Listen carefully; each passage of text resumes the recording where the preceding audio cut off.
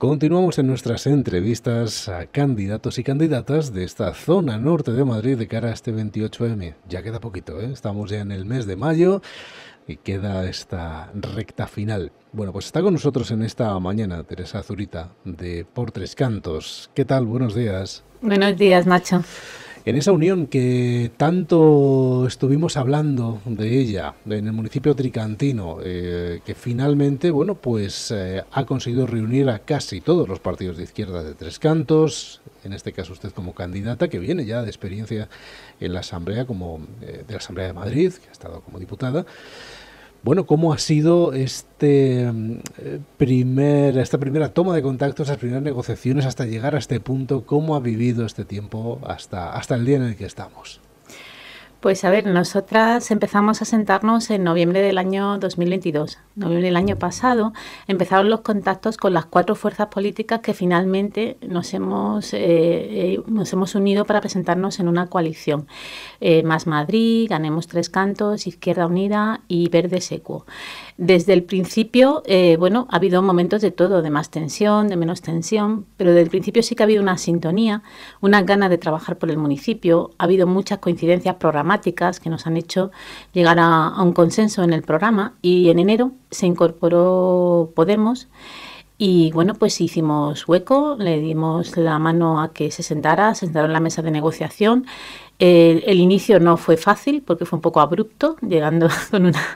Ellos llegaban nuevos, claro, no habían vivido todo el proceso de negociación y claro, llegaban con una, pues eso, con unas peticiones que al finalmente eh, fuimos capaces las cinco fuerzas de ponernos de acuerdo. Estaba negociado programa, estaban negociadas listas, estaba todo preparado, pero dos días antes de la rueda de prensa que estuvimos con vosotros, con los medios, pues nos dijeron que no se podían sentar al, al lado nuestro de la mesa, que iban a estar en la rueda de prensa, pero pero como asistente porque no tenían la autorización de, Madrid y del estatal de Podemos.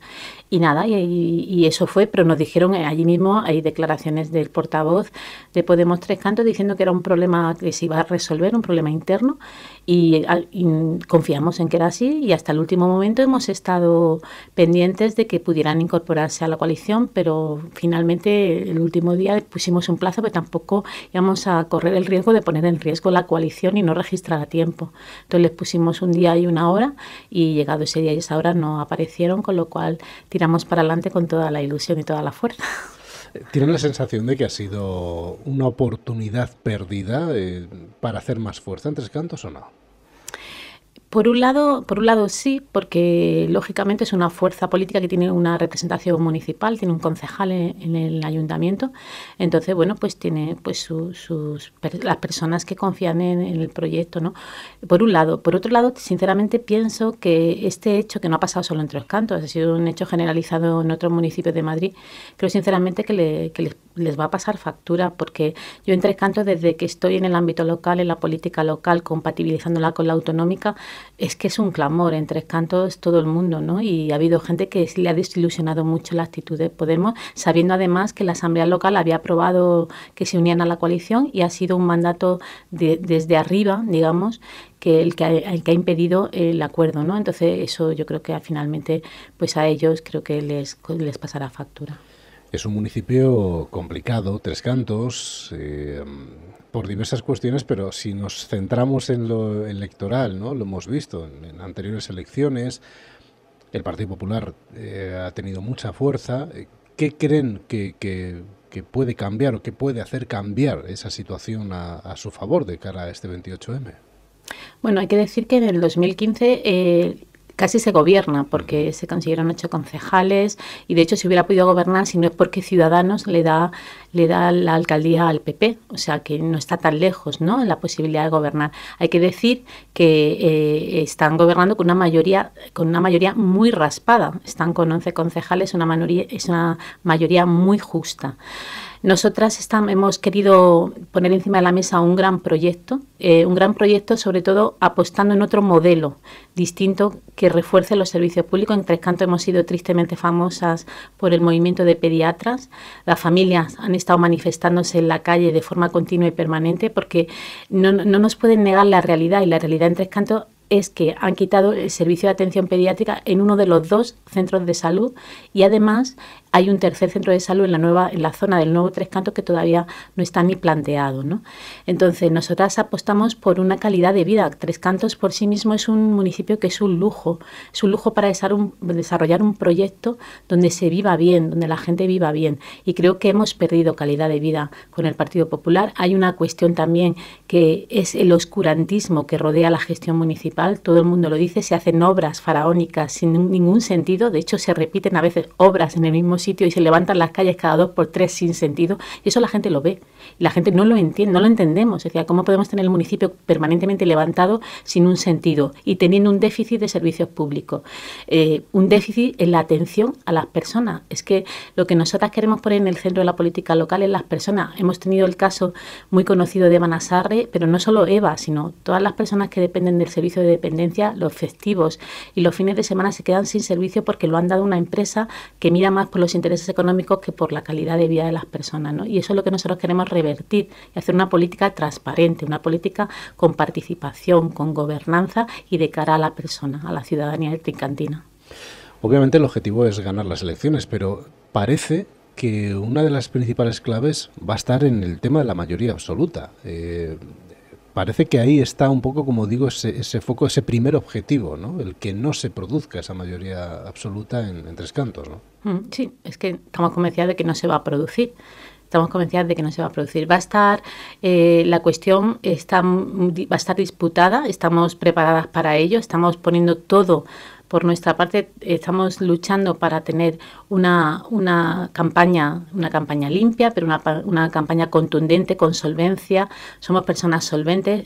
yo, como persona que llevo 21 años gestionando lo local y tengo muchísima experiencia en lo local, tengo un equipo que me rodea en la lista que en la que concurrimos como Tres Cantos por Tres Cantos, la coalición de personas que son expertas en muchos temas y esperemos y confiamos en que los vecinos y vecinas de Tres Cantos nos den su confianza porque además de solvencia vamos a demostrar que realmente queremos que la, ciudadanía de Tres Cantos sea la protagonista de las políticas locales y confiamos que la mayoría no se va a dar y luego ya dependerá de lo que hagan otras fuerzas, pero nosotras ahí no podemos, vamos a ir con todo y a ganar la alcaldía, por supuesto. Para quien no conozca a la candidata todavía, eh, ¿qué puede contarnos de su no solamente experiencia en política, sino también lo que le une con, con Tres Cantos? Pues yo llegué en Tres Cantos en el año 2019 y y bueno, fue duro porque es que justo el año siguiente se produjo la pandemia. Yo pasé la pandemia en Tres Cantos, tuve la suerte de vivir en una... Tres Cantos tiene, se caracteriza por las zonas verdes, tengo perritas, con lo cual el hecho de estar, estábamos confinados, pero tenía perrita y pude pasear mucho por el municipio. Tengo grandes amigas en el municipio. Es un municipio amable, es un municipio donde la gente, sobre todo es su gran, su gran, el gran valor de Tres Cantos son las personas de Tres Cantos. ¿no? Es un municipio que además desde su origen está muy bien planteado, eh, digamos, urbanísticamente, primera y segunda fase, y lo que no queremos es lo que está haciendo el Partido Popular, que la tercera fase no respete ese planeamiento de ciudad. Eh, si algo caracteriza a Tres Cantos son las avenidas grandes, las zonas verdes, el respeto a, lo que es la naturaleza y, las zonas, eh, las dotaciones, y nosotras vemos que en el ya en el nuevo Tres Cantos eso no se está respetando.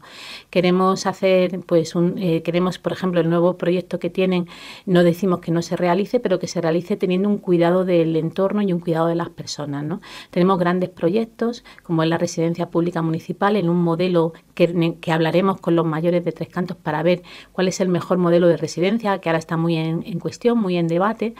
Y bueno, en respecto a lo que aportamos, aportamos pues aportamos empatía, con las personas aportamos consenso. Hemos llegado cuatro fuerzas políticas que hoy en día la política se está convirtiendo al final en un barro donde es difícil mantenerse con, valores. Nosotras hemos conseguido llegar a un consenso, cuatro fuerzas políticas, es un valor que ponemos encima de la mesa. Estamos trabajando juntas los cuatro partidos de forma muy buena y yo aporto los 21 años de experiencia en la gestión pública local. He sido, soy personal laboral fijo del Ayuntamiento de Coslada y he llevado varias áreas de, he gestionado, he sido responsable del área de violencia de género, del área de igualdad, del área de desarrollo económico, empleo, comercio y transporte.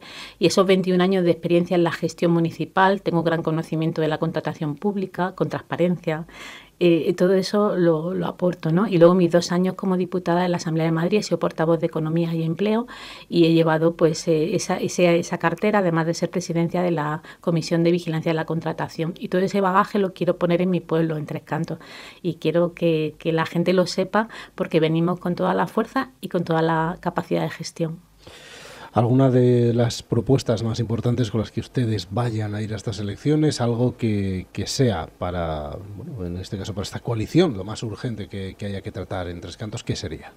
El tema de vivienda.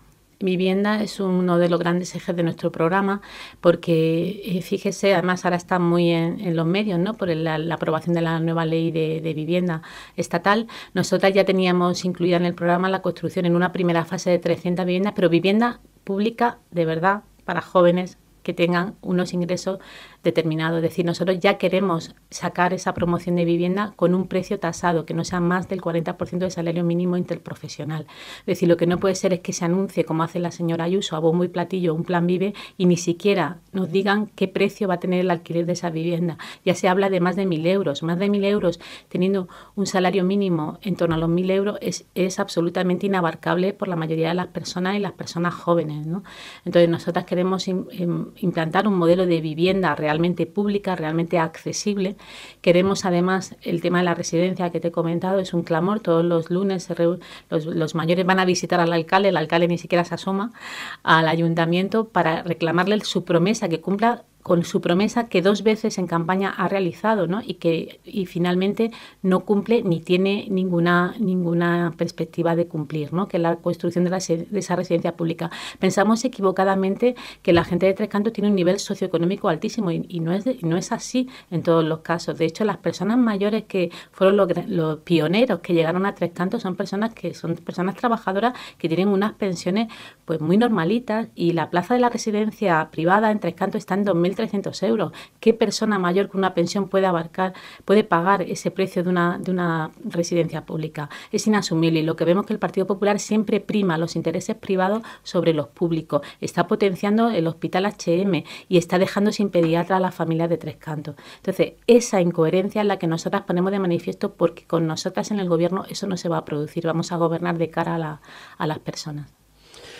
Pues eh, queda poco, como decimos, para ese 28M y seguiremos, por supuesto, porque aún nos quedan los debates y, mucho más por delante eh, en esta em, programación especial en Ser Madrid Norte y le agradecemos a la candidata de Portres Cantos, esta coalición de izquierdas eh, en el municipio tricantino, a Teresa Zurita, que ha estado con nosotros. Muchísimas gracias por mm. acompañarnos. Muchas gracias a vosotros. Gracias.